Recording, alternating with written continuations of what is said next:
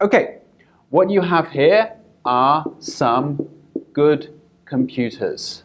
How do we know they're good? They are smiling and they have a little halo. And here you have a good server. These computers can be part of a network, say in a company, and their time has to be synchronized. In order to do that, they have to ask a server what the time is, and the server tells them, so they all have the same time.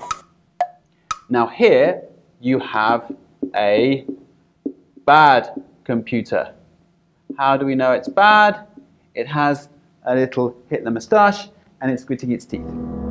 And the bad computer has lots of friends called bots.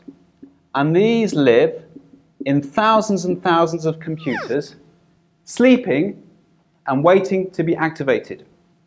When the bad computer wants to hack into the server, it wakes up all of these bots and tells them to pretend to be these good computers, asking the time of the server.